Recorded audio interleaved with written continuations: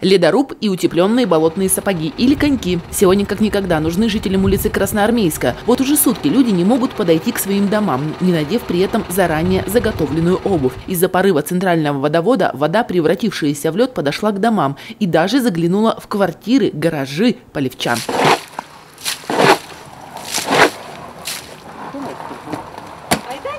Выражение «не пройти, не проехать» стало для жителей улицы Красноармейская реальностью. Причины видны невооруженным взглядом. Вода просто атаковала жителей со всех сторон. На водоводе э, диаметром 300 миллиметров, который идет на Никольскую, то есть это э, серьезный питающий водовод, произошла авария.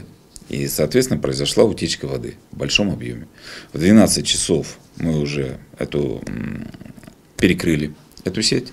Соответственно, э, вчера Нашли материалы, с которыми будем сегодня работать, получили все согласования земляные работы, и сегодня с утра мы приступили уже к поиску аварии э, для того, чтобы ее устранить. Что непосредственно там находится, не знаю. Э, вскрытие покажет.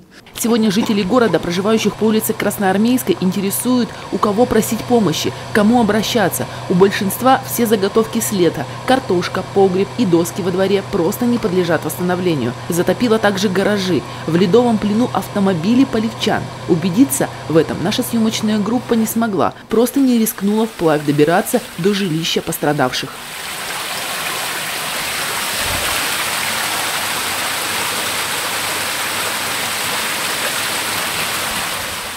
Пока же жители улицы Красноармейской борются с водой самостоятельно, к аварии подтягивается техника. Ассенизаторские автомобили откачивают воду. Никто один на один не останется, потому что ну, э, жители нашего города – это же жители нашего города.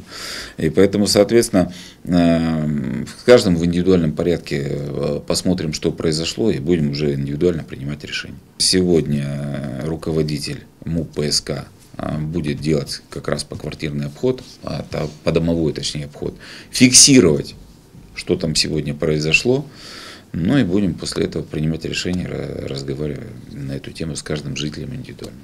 Все масштабы сегодняшнего бедствия и урон, который нанесла авария жителям, смогут оценить только весной, когда февральская вода отступит.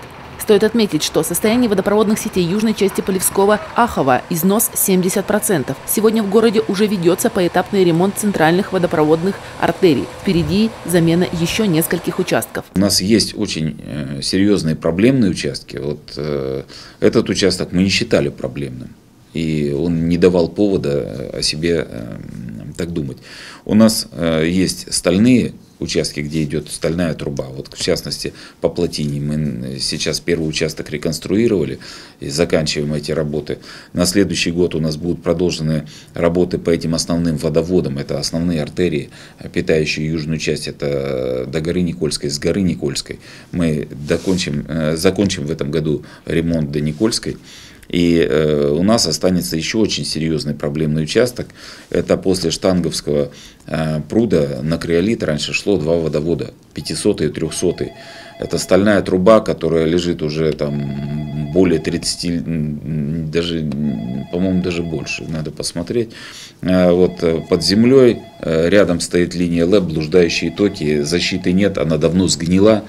А пока же для коммунальных служб города задача номер один – это устранение аварии на Красноармейской, поиск причины порыва и оценка урона, индивидуальная работа с собственниками жилых помещений, которые пострадали в ходе разлива воды с центрального водовода.